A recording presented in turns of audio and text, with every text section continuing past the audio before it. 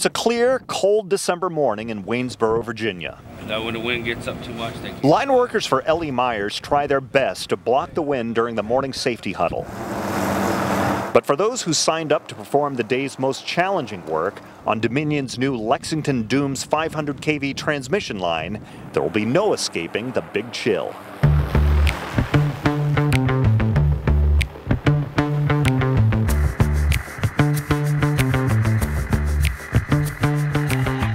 Was already a week into December when Dominion requested the company's help to inspect and ensure that all conductor suspension clamp connections were properly tightened prior to energizing the line on December 23rd, leaving just 15 days to mobilize a workforce and safely complete the task.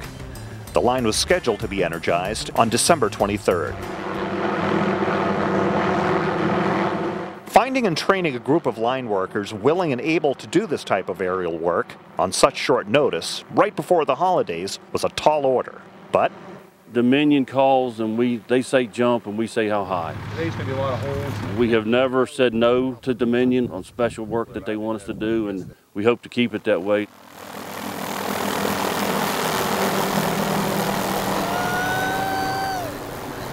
Flying underneath a helicopter from a long line, which can match and surpass the sensation of a spinning carnival ride, was a new experience for most of them. It's intense. Really windy, but it's a lot of fun. I've got a 22 year career doing it, distribution, transmission, and uh, over the years it's basically the same routine. But This right here is something I've never done. I'm always looking for a challenge. You like doing this kind of stuff. Oh yeah, I love it. It beats climbing. Rather do this all day long than climb. This job is certainly not for tentative types or those who don't like heights.